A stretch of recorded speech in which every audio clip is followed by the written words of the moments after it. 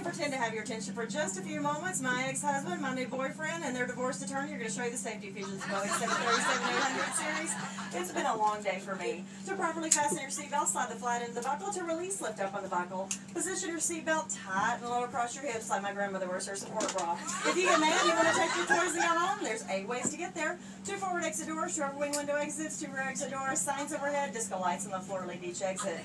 Everybody gets a door prize in the seat back pocket in front of you, along with dirty diapers, chewing gum wrappers, banana peels, and all other gifts you leave for us. It's a safety information card.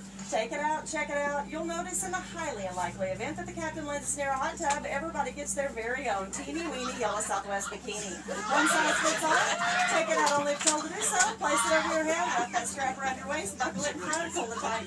Once that side pull down on the red tab, inflate to manually inflate blowing the tube at your shoulder. The flight attendants are coming by, hoping that you'll tell them how good looking they are. They're going to make sure that your seat backs and tray table are in their full, upright, and absolute most uncomfortable position possible. And your carry-on items are and completely into the seat in front of you, leaving absolutely no room for your knees or feet. As you know, it's a no smoking, no whining, no complaining flight. It's a please and thank you, and you are such a good-looking flight attendant flight. Smoking is never allowed on board of Southwest. If you're caught smoking in the lavatory, the fine for that's $2,000, and if you want to pay that for your airfare, you should have flown somebody else. If we do make you that nervous the next hour and a half, you're more than welcome to step outside. We don't discriminate at Southwest. We have a special smoking section just for you. We'll even show you a movie tonight. We have Up in the Air. And the flight attendant serving you, name is Wendy, and her motto is, if you can light it, you can smoke it. Federal law prohibits tampering with, disabling, or destroying any smoke detector or webcam in either of our lavatories.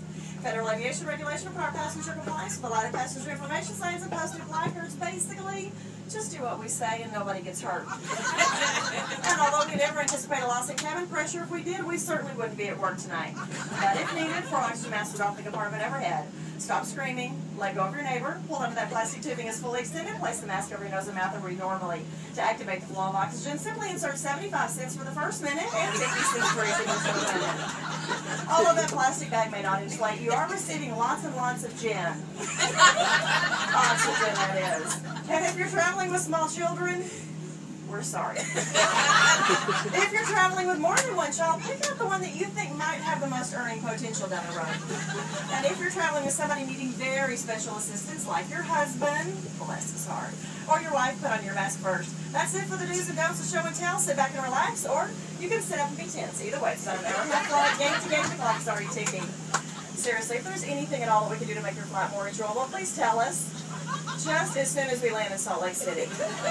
And if there's anything you can do to make our flight more enjoyable, we'll tell you immediately. We're not shy in Southwest. That's what we call very cheap entertainment. Nobody had to pay extra, but you certainly don't get a refund. That's thanks for choosing Southwest. Welcome aboard.